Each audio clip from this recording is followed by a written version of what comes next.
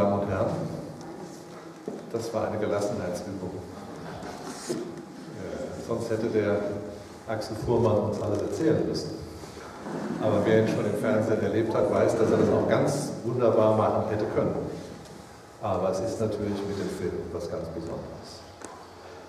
Ich äh, möchte Sie alle ganz herzlich begrüßen zum Sommergespräch. Und besonders Axel Fuhrmann, dass er bei uns ist. Ich bin ganz sicher, dass wir einen wunderbaren Vormittag haben. Vielen Dank für die Einladung erstmal. Und ähm, es ist wie beim Fernsehen, es wird unheimlich viel improvisiert, bis dann endlich mal die Kamera läuft, das Licht an ist, alle gespannt sind und loslegen und dann auch drehen können. Also Sie haben gerade eben typisch Fernsehen erlebt.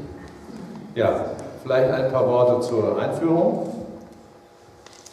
Als Sie hier reingegangen sind, an diesem wunderschönen Sommertag, vermute ich mal, und danke für alle die, die zu uns gekommen sind, dass Sie die Kuppel hier oben von außen gar nicht gesehen haben. Und wenn wir jetzt alle nach oben gucken, dann sehen wir diese Transparenz dieser unglaublichen Farben durch die Sonne. Das heißt, von außen sieht man nichts. Man muss nach innen gehen. Und dann kann man die Transparenz dieser Wirklichkeit sehen, die wir auch Gott nennen können. Es geht um Transparenz, auch heute bei dieser Veranstaltung. Das fiel mir gerade so ein.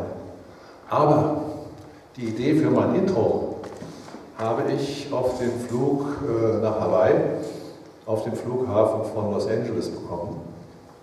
Ich war gerade vier Wochen mit meinem Sohn auf den Hawaii-Inseln habe einen Vater-Sohn-Urlaub hinter mich gebracht. Das war wunderbar. Und als ich in Los Angeles ein Stopover hatte und zwei, drei Stunden, gehe ich in einen Buchladen geradeaus auf den Stand zu und sehe dieses Blink. Was glauben Sie, was ich da gedacht habe? Ich habe nur an Annemarie Blink gedacht. Ich habe an dich gedacht. Meine Mose, habe ich gedacht. Gibt es doch gar nicht. Los Angeles. Habe ich sofort gekauft. Habe das auf dem Flug nach Honolulu gelesen. Das sind ja sechs Stunden.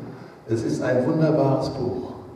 Und auch heute geht es bei, dieser, bei diesem Sommergespräch um den Blink.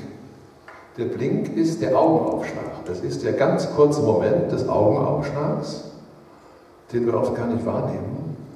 Und das Buch ist voller Beispiele, wo hochkarätige Psychologen recherchiert haben, was läuft eigentlich ab, wenn wir Entscheidungen fällen.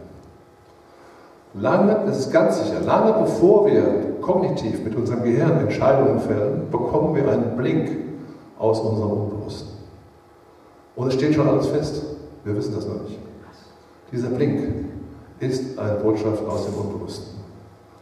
Und das kann man üben. Das steht auch hier drin. Und ein Blink, eine Botschaft, eine kurze für den Moment, ist immer ein Bild.